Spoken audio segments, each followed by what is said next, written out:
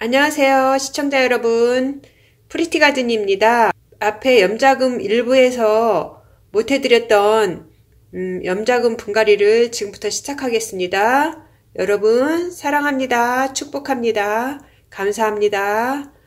연말 연시 어, 모두 모두 행복하시고 어, 아주 기쁨 충만한 그런 날들로 가득하시길 바랍니다. 네 그러면 지금부터 어, 염자 분갈이를 시작하겠습니다. 이렇게 일명 돈나무 복가 재물을 부르는 요 염자 금 요, 또 염자 중에서도 금이요 예, 금이 들어가 있잖아요. 염자 금은 더 귀하답니다. 그리고 이렇게 잎에 물이 살짝 많이 들었죠. 너무너무 예쁜 행운의 염자 금을 제가 데려왔어요.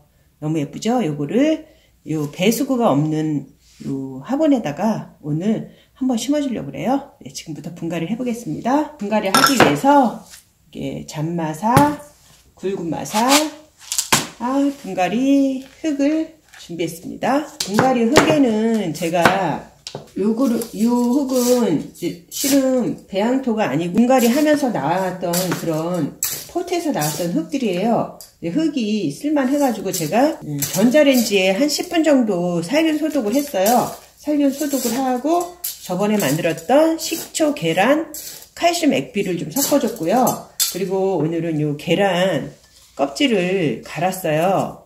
요거 이제 계란 껍질 안에 속껍질을 제거한 다음에 말린 다음에 이거를 믹서기에 갈았답니다. 이것도 여기다가 섞어줄 거예요. 네, 이렇게 데려왔을 때 이렇게 요 포토 화분에 두 개를 데려왔거든요. 참 행운이 있었던 것 같아요. 이거 두 개를 이렇게 큰 거를 두 개에 천 원에 가져왔으니 얼마나 행운이었겠어요? 네, 제가 뭐 올해와 내년에 좋은 복이 많이 있을 모양입니다. 네, 그러면 요거를 포토를 포토에서 꺼내줘요. 꺼내서 다듬어 줍니다. 흙을 좀 웬만큼 털어내 주고요. 흙을 털어냈습니다. 여기다 놓고요. 네, 그리고 요것도 흙을 털어냅니다.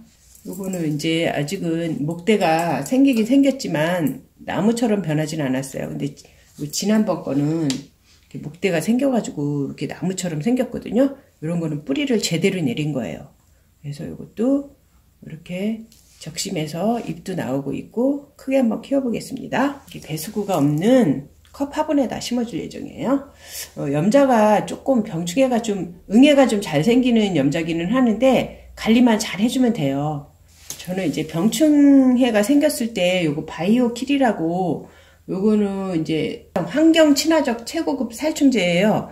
그래서 식물한테 줘도 그렇게 나쁘지가 않고 환경 친화적이기 때문에 그리고 아주 그 벌레라든지 이런 게 금세 어, 죽고 그 하초가 벌레가 먹었어도 금세 다시 예, 제자리로 돌아와주는 그런 역할을 해주더라고요. 네, 이거 한번 소개시켜 드렸고요. 그러면 지금부터 공간을 한번 해보겠습니다. 여기다가 일단 배수충을 좀 깔아줘야 되겠죠? 굵은 마사로 깔아줍니다. 이거는 이제 배수구가 없기 때문에 배수충을 좀, 음, 좀 많이 깔아줘야 될 것 같아요. 깔아주고 그 다음에 잔마사도 조금 깔아줘요. 배수충을 좀 배수구가 없어서 많이 깔아줬어요. 이게 좀 키가 크기 때문에 화분에 비해서 키가 크기 때문에 여기다가 바로 흙에다가 심습니다. 흙에 비해서 이게 어, 키가 굉장히 커요.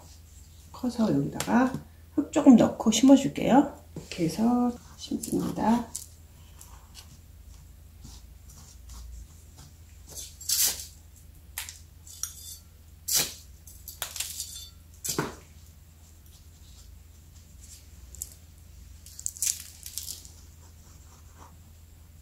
여기다 또 하나 심어주고요.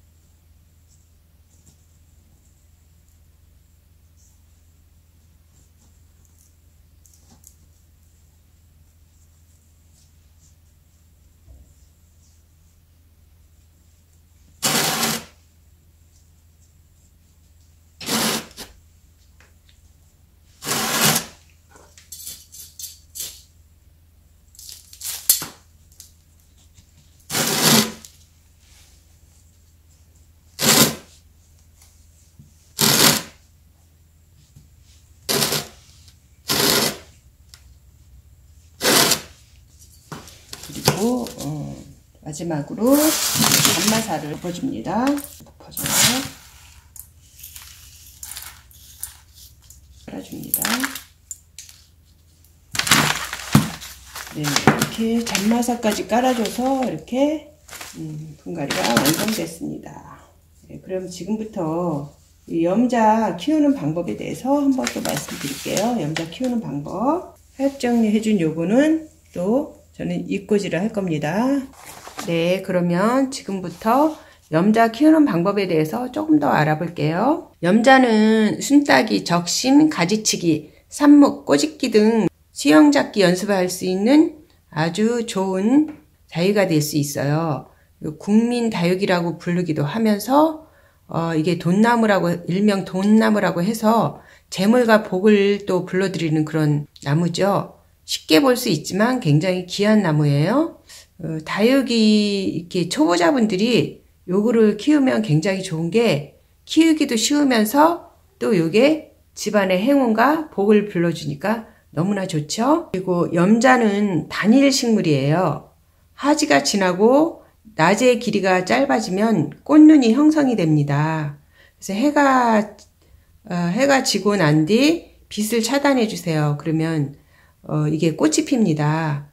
어, 이게 등 따시고 배부른 염자는 꽃이 안 핀대요. 그래서 조금 어, 해가 지고 어, 빛을 차단해 주면 그때 또 꽃을 핀답니다. 이거는 아직 어려서 꽃을 피우지 않지만 어, 이 꽃이 제가 그때 하원에서 그 꽃핀 거를 봤는데 큰 나무에 꽃이 피었더라고요. 아, 하얀 꽃이 피는데 너무너무 예쁘더라고요. 여기 자료가 있으면은 요, 여기다가 한번 넣어드리겠습니다. 그리고 겨울에도 10도 이하에서 네 염자의 물지기는 여름철에는 한 달에 한 번 주시고요. 겨울철에는 한 달 반이나 두 달에 한 번씩 주시면 되고요. 뭐 저번에도 제가 항상 말씀드리지만 요 밑에 하엽이 쭈글거리고 중간 잎이 통통해지는 것이 물렁물렁해졌을 때 이것도 주시면 되고요. 쭈글거렸을 때 좀 주시면 돼요. 이것도 너무 겨울에는 많은 물을 주지 않고 굶기는 것도 괜찮거든요. 그리고 햇볕을 좋아하고 양지식물로 밝고 통풍이 잘 되는 곳에 월동 온도는 10도 이상만 되면 되니까 10도 이상만 유지를 잘 시켜주시고요. 이게 국민 다육이라고 해서 공기 정화도 뛰어나고 또 저희에게 예쁜 모습과 복을 또 불러다 주는 그런 나무라고 하니까 이게 생김새가 이렇게 돈, 동전 모양처럼 돈처럼 생겼다고 해서 어, 그런 별명이 붙었다고 해요. 돈나무라고. 여러분도 이게 뭐 가격이 어, 여기 천 원에 요거, 요거를 사왔거든요. 가격도 굉장히 저렴하고 키우기도 쉬운 염자를 한번 키워보세요. 오늘은 이렇게 염자 키우기와 특성 또 이렇게 배수가 안 되는 컵 화분에 심어봤어요. 병충해 없이 한번 잘 키워보겠습니다. 시청자 여러분 항상 감사드리고요. 앞으로도 더욱더 많이 사랑해주시는 채널이 되도록 노력하겠습니다. 네, 감사합니다.